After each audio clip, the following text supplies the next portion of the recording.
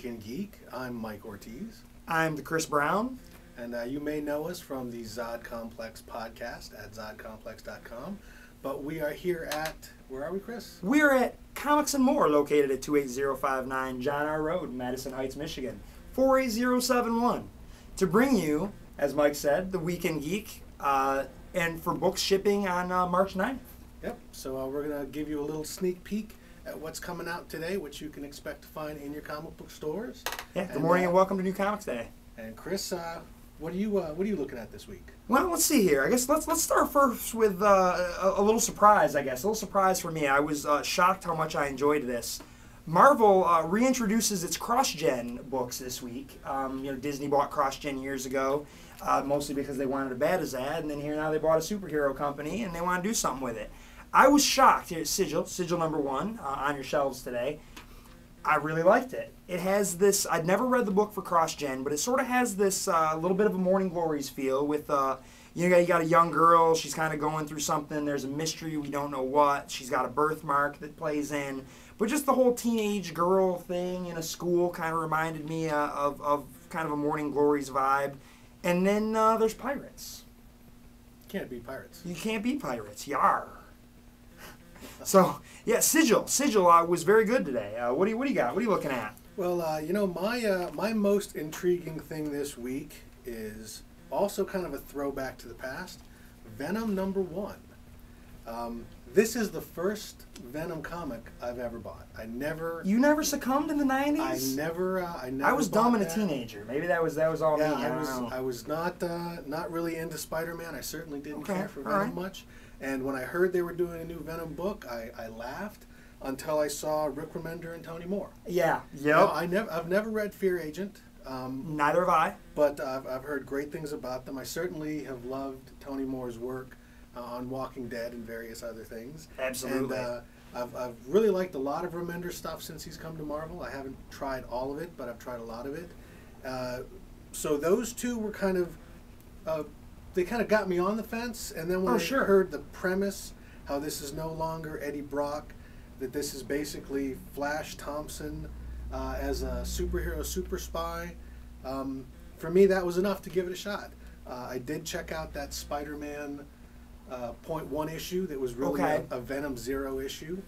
I haven't read uh, that yet. I, I thought it was uh, was pretty interesting. It seemed like a, an interesting premise, okay. so uh, I'll give it a shot. Yeah, I'm, I've, I've got it in my stack as well. Kind of excited to read it. Um, I'm not the biggest Venom fan in the world, but it's all honestly for me. It was the Tony Moore. Everyone says good things about uh, Rick Remender, and I've never really read anything. Um, uh, Chad, our fellow uh, Zod Complex cohort, was all about Frankencastle. I know he was very much about that book.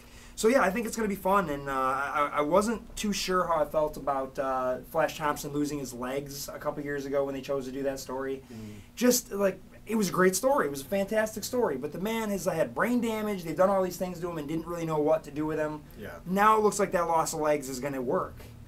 They're going to do something with Very, it. So uh, very interesting premise, and uh, uh, I like how they they've shaken things up. They they took the Venom symbiote away from Eddie Brock, gave it to Mac Gargan uh, quite a while ago. which was And, interesting. uh, yeah, it was kind of a, a neat change of pace, and now uh, giving it to Flash Thompson really changes things a lot. So hopefully this will be a, an interesting new direction for the character. They well, they've made the suit a character, which I like. I mean, where for the longest time, yeah, it just wasn't. I don't know. Felt, I felt like it was flat with with Eddie Brock, but uh, yeah, let's let. Well, I guess we'll find out. This is one I haven't gotten to yet. What else? Uh, what else are you looking for this week? Um, well, of course, uh, you know, uh, I, I always get very excited every week it comes out. Walking Dead, No Way Out, Part 3.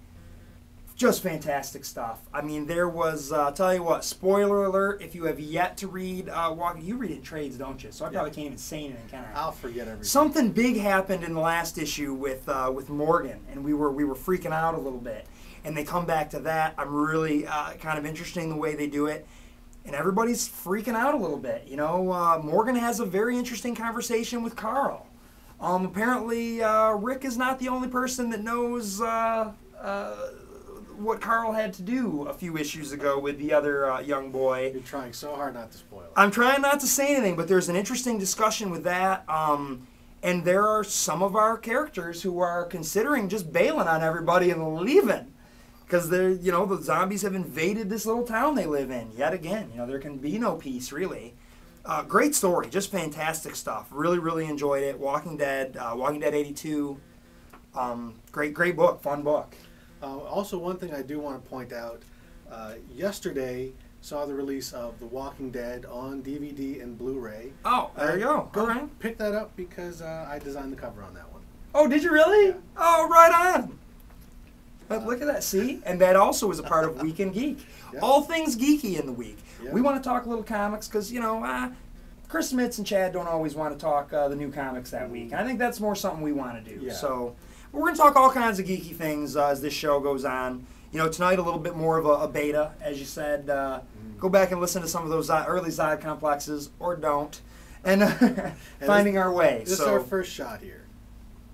what else? So what, what do you got over there? What are you looking at? The next thing that I'm looking at is Batman and Robin number 21. Okay. How are you liking it since Grant Morrison left the book? I um, you know, I as soon as I found out that Grant was moving to Batman Inc. and uh, and Tomasi and Gleason were taking over this book, I just thought to myself, well, that's kind of nice. That's one more book I can drop. And uh, That was my attitude, and that's exactly what I did, to be honest. I, I picked up the first issue that um, there was a three issue arc Paul Cornell wrote, uh, Scott, Oh. Scott McDaniel drew. yeah, yeah. Picked up the first issue of that. Was not really impressed. Me neither. I had decided then pretty much to drop the book. Then when this, uh, when issue 20, the first issue by Tomasi and Gleason came out last month, um, I was I was staring at it. I was looking at it. I, I really I've been reading Batman Inc. I've been reading Detective. okay. Uh, I even picked up the Batman Dark Knight book. So I asked myself, do I really need another Batman book? But you know what? I really loved Green Lantern Corps, and Tomasi and Gleason uh, did a great job Okay. on that book. Uh, there were times when I thought it was even superior to the main Green Lantern book. So I figured I'll give it a shot. You know, it's two ninety nine. They're holding the line. Uh, I picked it up and I loved it. So uh, Oh, I'm, cool. I'm back on board. I mean, it's certainly not the Grant Morrison Batman, but we've got something else a little later in the stack for that. But uh, but if you want just a good, solid Batman book with with Dick Grayson, um, and uh, and also I really like Damian. Damian's a great I do too. Um, he's a lot of fun, and I think Gleason's got a good handle on him.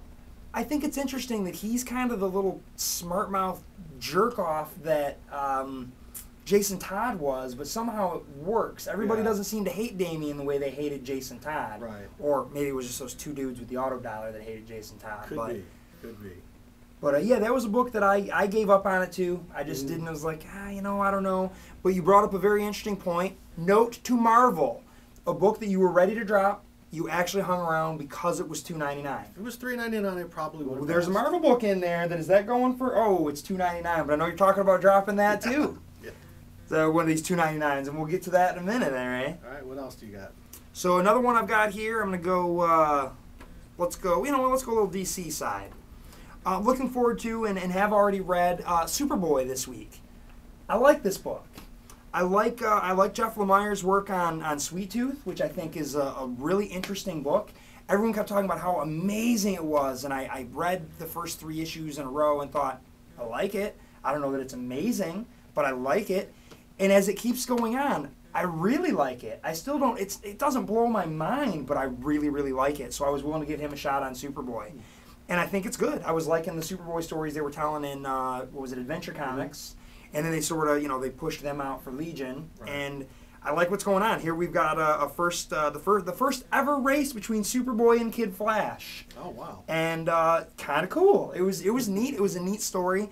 They managed to kind of work in their friendship and the things that are going on with Connor and Cassie over in Teen Titans, and just all of the things that they're doing. Jeff Lemire manages to make work, and it's a he, he advances the story and he also manages to advance the characters, and I like it. I think it's a great book. I don't know if you're reading Superboy, but it's Uh, fun. I, I've not been uh, the. Uh, I'm kind of surprised. I'm not really reading much in terms of the Superman books these days. I'm reading Okay. Batman books. Are you reading And, action though? Uh, I am reading action. Action's That's been great. but that's not a Superman book. Well, it was, but it's but it's a Lex But, book. Uh, it's a uh, fine line. So yeah, I did. I, I, I kind of passed on Superboy. I never really read it uh, when the character was created back in Okay. the '90s, and uh, it was just one of those. I was I was reading uh, adventure comics Okay. until uh, Geoff Johns left that book, and uh, it, it was just one of those books that I just never gave a shot to. Okay. Um, I, I've read Lemire's stuff uh, before. I read, uh, God, that book that he did for Top Shelf. oh, I, can't know what you're what talking about, but I can't think of what it is Um, either. And then I I, had I, just recently read The Nobody, uh, Okay. Vertigo graphic novel, which was quite good. Um, I picked up the first issue of Sweet Tooth, and it was one of those books where I decided, you know, I'm going to give this a shot and trade, and then just never got around to it because I don't really buy trades that often. Fair enough. I think I Um, have the first three right right behind us over here. My uh, my next book is uh, The Incredible Hulk. This is Planet Savage Part Two. Uh, I've actually Alright. not read Part One yet, and um, I'm probably going to be dropping this book. I I really I really liked it back when Planet Hulk. Uh, Oh, sure. Started up that was that was great stuff. Was not really impressed with World War Hulk. World, was it World War Hulks? World War Hulk. Either one. Yeah, Um, World War Hulk was it just ended in end well. Yeah, and I really didn't like that. And then I, I was And it was just a setup for all the Red Hulk stuff, which was just a setup for the next thing, which was just a setup for finally telling stories. I was I was surprised how much I liked the Red Hulk, and continue to like the Red Hulk with Okay. Jeff Parker on the book. Um, but uh, when they brought back the Incredible Hulk, I was kind of iffy on it. I had decided to drop it, but then Paul Pelletier uh, came on as the artist a few issues back. I love his work. I'll read it, even with uh, with horrible stories. Now Dale Eaglesham's on it, and I loved Eaglesham on the Fantastic Four. I actually still wish he was drawing it instead of Epting. Um, I think hi- his kind of Kirby vibe fit the Fantastic Four, and it probably fits the Hulk really well too. I think this looks great as I'm looking at this now, I, especially if you're saying Kirby. Yeah, Hulk all day. Yeah, it's, I just it, it's kind of I don't know. I, the stories haven't been thrilling me, and the art um, now may not be quite good enough to uh, to keep me going. Uh, like I said, I do still like the the Red Hulk book, so that'll probably give me my Hulk fix for a while. Okay. Yeah, I, I had been reading it for a minute there, and then when they came out of uh, World War Hulks, I was still reading it, and then I just yeah, I kind of lost track of it. It just wasn't doing it for me. Maybe I'll maybe I'll try to read this Planet Savage. I guess like anything, you can kind of just jump Yeah. on, and that's probably what I'll end up doing because I want to like the Hulk. I love the Hulk actually. I love the character, but uh, It hadn't been good there for a hot The, minute. the Hulk is is, is be, has uh, become a victim of what I think is also starting to happen to Daredevil, which is this um, kind of on, need for an ongoing big story. Yes. Uh, you know, certainly a lot of the other books are doing that, but you know, when you've got World War Hulk feeding into World War Hulks and Fall of the Hulks or whatever, now there's a whole family of Hulk titles. Uh, they they have a tendency to take something good and then just kind of make a lot of it and make it bad. And uh, I think if enough people drop it, eventually the Red Hulk book's going to go away. Maybe they'll fold Parker and Hardman onto the onto the Incredible Hulk book, and uh, maybe I'll give it a shot then. It hurts me though too because the Hulk is one of those books that I've got a huge collection of. I've pretty much got every issue stretching back to when John Byrne took over in the late Oh, okay. 80s, and uh, it's going to be tough to drop that. Uh, yeah, I, I go through different periods with the Hulk. Sometimes I love him, sometimes I don't. I'm, I'm a different collector than you in that I can read it when it's good and not bother when it's not and just let it go. And you know how bad I feel about having that gap in my collection? Not at all. I lose zero sleep over it. Because you know what? It probably strengthens my back from not having to lift those five extra comics that I don't want. and so. But uh, yeah, I'm, I'm, I might end up giving that a shot. Actually, it's kind of funny as you're talking about uh, killing it, and I'm looking at that uh, Eaglesham artwork. I might have to go back an issue and pick that up. I think it looks all right. Nice. So, but that's what we're doing. Maybe we get one of you interested in it. Give it a so we'll- shot. we'll see. Then when it's good, someone tell me. I'll pick it up again. All right, fair enough. That sounds that sounds like a plan. Uh, next thing I got on my docket here is uh, New Avengers. Uh, New Avengers number ten in today. Um, kind of interesting. They're they're definitely uh, starting to introduce a new a new arc. You know that arc that they introduced uh, with the last issue with uh, Nick Fury back in time, sort of assembling this uh, this Avengers team, it's got Kraven and Dominic Fortune, and really sort of interesting and sort of different. Um, uh, Creed, Sabretooth. But then there's also the story that's going on right now with, uh, was it Superia? I keep wanting to call her Suspiria. I know that's not her name. Um, and whatever happened to Mockingbird in the last issue. Mocking, all of that to bring Mockingbird back in the Secret Invasion. And then now it looks like they're going to kill her? Really? Well, I guess we'll find out. We don't know. That's what it looked like in the last issue. They're going to get to something, but I don't know. Uh, I think some of the artwork in here looks really great. I know there are people people that really like Howard Chaykin. I don't know that I love him as much as I used to. Um, I, it, it's it's stylish, you know, but it's really only his artwork in the uh, flashback moments. That's actually a really clever idea. I think Chaykin stuff works really well for the uh, the retro part of that. I would agree with that, and I think for what they're doing with this, it probably does work a little bit better. Um, but yeah, I, I think this book's pretty fun. Yeah, and I uh, I enjoyed it. It's a good read. Definitely pick that up today. Uh, next up for me is Jennifer Blood by Garth Ennis and Adriano Batista. Okay. Um, I, I picked up the first issue kind of on a lark. I was uh, at a comic book store uh, while I was on vacation. I, I read all of my comics on the plane, and I wanted a little something to Okay. read, so I tried a few things I hadn't tried before.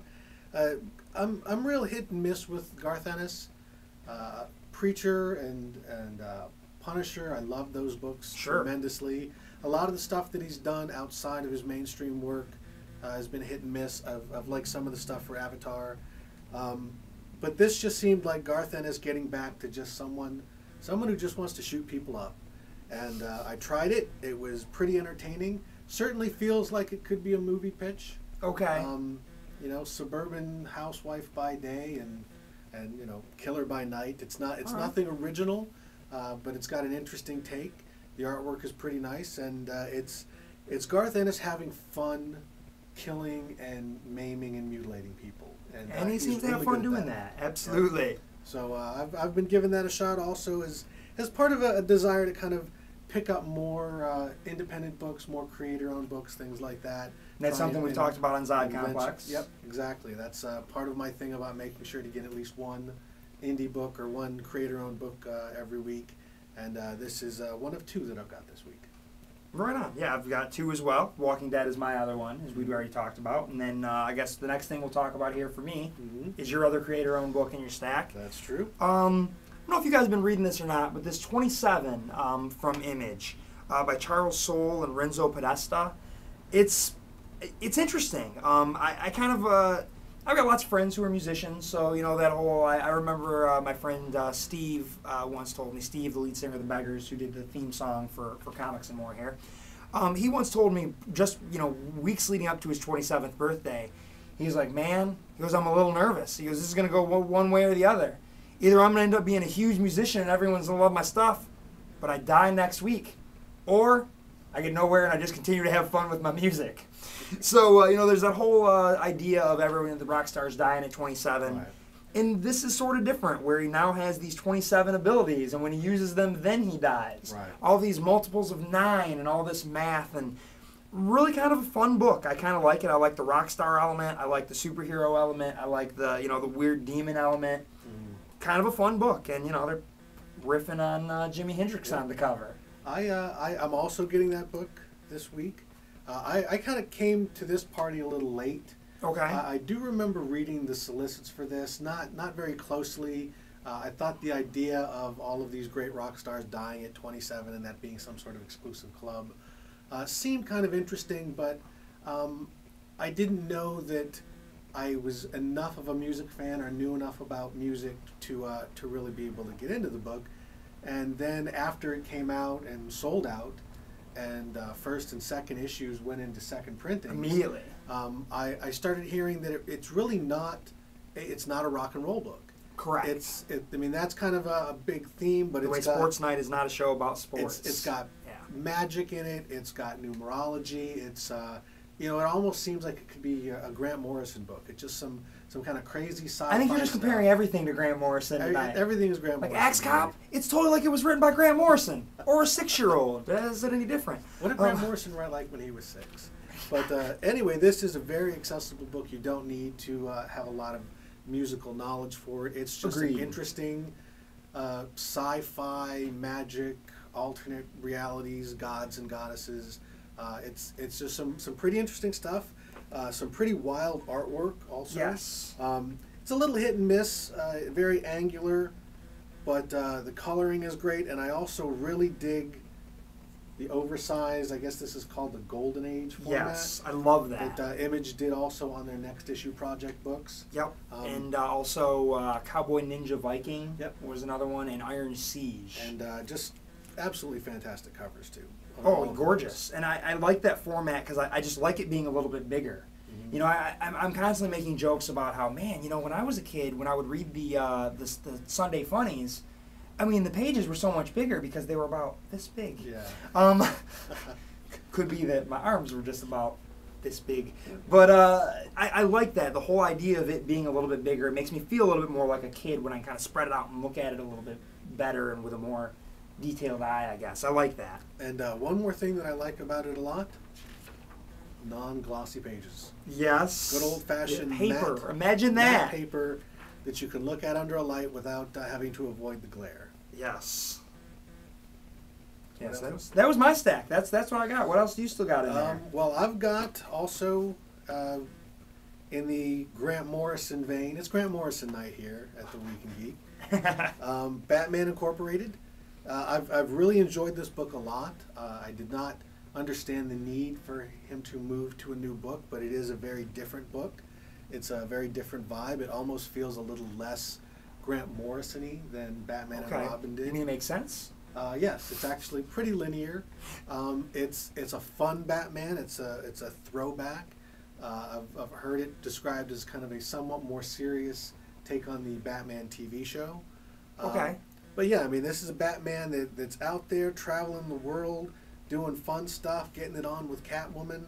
Uh, it's it's not a dark, brooding creature of the night. If that's the Batman that you're looking for, Okay. uh, go read Detective Comics. But if you want a Batman that's that's fun and enjoying being Batman, uh, give Batman Incorporated a try. And then the last thing I've got is Ultimate Spider-Man. Uh, this is the prelude to the death of Spider-Man. Aren't there like six or seven issues that are a prelude to? Uh, It's like was- the third Spider-Man issue. Yeah, and then they um, had the, the Ultimate Avengers versus Ultimates. I'm wondering what's going on with that. Um, I've I've been on board with the Ultimate Universe since day one. Uh, Okay. I, I actually, when I first heard about it, I did not think it was a horrible idea. I thought it was kind of an interesting idea. okay. It has certainly become something very different than it was before. I think uh, I think most of the Ultimate Universe has kind of lost some of its charm, but Ultimate Spider-Man is still pretty solid. And Okay. I will give Bendis the benefit of the doubt. Um, you know, the man is done 155 issues.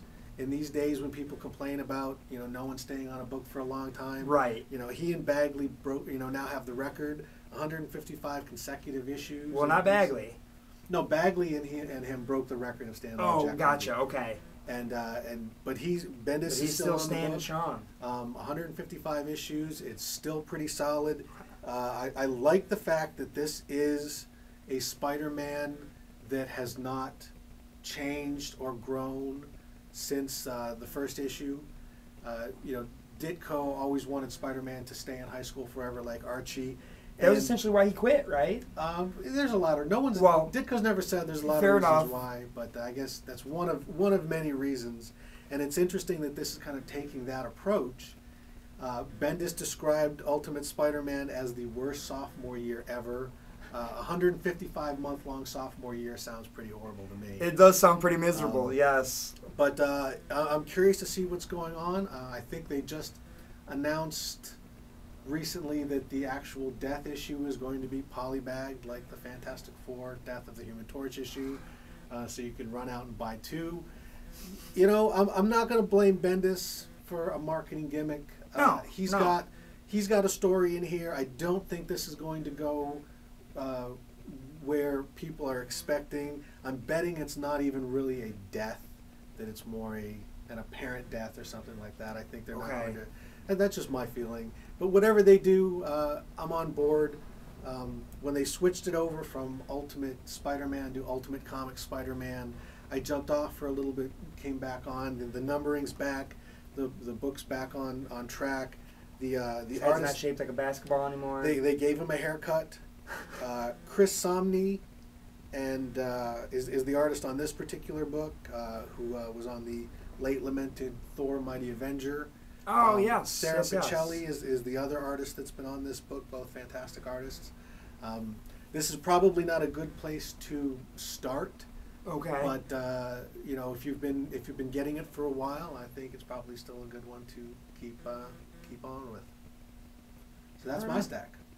All right, so now what we would like to advise everyone go over. We mentioned some creator-owned books tonight, um, so why don't you also go over to the uh, creator-owned blog? It's creator uh, Creator- hyphen owned creator dash owned dot blogspot.com. Uh, that's done by Chris Spitz of the of the Zod Complex. Yep. Every week he focuses on all of the creator owned books that uh, that are coming out, and certainly uh, Walking Dead, Jennifer Blood, and Twenty Seven were part of that. Um, Now he also mentioned uh, what guarding the globe and and Starborn by the Stan Lee and Little Depressed Boy, Spawn. uh, Uh, I know he was pushing uh, the finals, Resurrected, Vertigo, Vertigo Resurrected finals. Yeah, with by uh, Will Pfeiffer and Jill Thompson. Uh, So, I, I actually do and like there's a review of that on the the, the blog. I do like this 7.99 kind of sort of mini trade format that DC has been doing. I think that's a great way to bring some older material back to light. Absolutely, uh, and, make it affordable. People turned on. Yeah, exactly. Uh, a couple other interesting books out this week. Sarah Palin versus the World, with some Love that nice cover. Scott Pilgrim style uh, artwork on the inside. Uh, I, since I don't read Scott Pilgrim, I did see and like the movie. Uh, I don't know if Certainly. I get it, but it uh, it certainly looks pretty interesting. Um, Yeah, for anyone who's looking to, for a little lampooning of, of Sarah Palin, as if we haven't gotten enough of that. Sarah Palin versus the world. Yep. And uh, it's also a big Captain America week. There's uh, three Captain America books coming out this week. Uh, First 13, Hail Hydra, and the Korvac Saga. That Korvac Saga is great too. I like that uh, Great cover. yeah, Cap knocking out Galactus, or at least punching him in the lip, for whatever that's worth. I'm a big fan of the original uh, Korvac Saga. I have not been trying any of these. I don't know Okay. what the, the basic premise is, but uh, I think they've been kind of going back. Let me see if this is sort of like that. Uh, yeah, this one doesn't look as, as kiddish as the Infinity Gauntlet thing that they had done, but it's, it's almost like they're revisiting these old tales and kind of trying to make them uh, all ages friendly. interesting. Well, yeah. What else? Uh, we were looking at a couple other things. Oh, and you know what? I'd like to mention, which I think is really interesting. Clint is out this week as well. And while I'm not a huge Mark Millar fan, I like the throwback to kind of the Warrior magazine, the sort of anthology magazine. And we lost, uh, you know, we lost Wizard, which is not something I'm particularly sad about. It's a magazine that actually focuses on comics and not just all the nonsense. There's, you know, you got some some story pages from Kick-Ass 2 in here, which it's uh, from issue two, which is not even out yet through Icon. Uh, you got some Nemesis in here. Looks like he's going to reprint some stuff from The Pro by Bar- Garth Ennis about a superhero hooker. Um, so yeah, check that out as well. Um, also, this stuff is also all creator owned. Okay. And you know, it's interesting. You've got that, which is kind of a, a throwback, Sigil, Venom, and uh, one of the last throwbacks this week that I wanted to mention is right over there. Uh, Marvel Onslaught Unleashed. Yeah, they just On- can't keep. Onslaught Unleashed, They can't keep him dead. They No. can't keep them gone. Uh, it does seem like it has gravity. Uh, the Mike Norton, Sean McKeever creation, uh, which I like quite a bit. Um, And Sean McKeever's a nice guy. I, I've not read anything Onslaught since uh, Since the first since the original. Right. I don't know what's going on. I just find it interesting that they uh, they can't keep him dead. Right. Well, and even if we're going to talk about throwbacks, this Age of X looks a lot Yeah. like the Age of Apocalypse. So you also got that currently going. Right. So if you if you loved that, a lot of people uh, that like that original story are saying this is fun. It's different. It's not Age of Apocalypse, but you know what? Marvel says they have so many Earths anyway, so they Yeah. just keep doing all kinds of fun and odd things there. So, uh, so Oh, that. I just noticed uh, X23 also has a pirate theme this week. Oh, pirates. Uh, pirates, yar. You can't be. Kind of like that cover. X23 is a sexy pirate lady. All right. with uh, with claws. With claws. Yeah, Can't beat that. No, you can't. Sexy pirate Wolverine. Everybody wins. Do, do we? Do we? when you put it like that, now I feel dirty. You should feel dirty. You're a dirty man. All right, well, I think that's the uh, that's the WeekNGeek, and uh, thanks thanks a lot for joining us. We'll uh, go out to your comic book store today, pick up some books, pick up uh, either the books we mentioned or something else. Uh, and uh, come back here next week for the next WeekNGeek.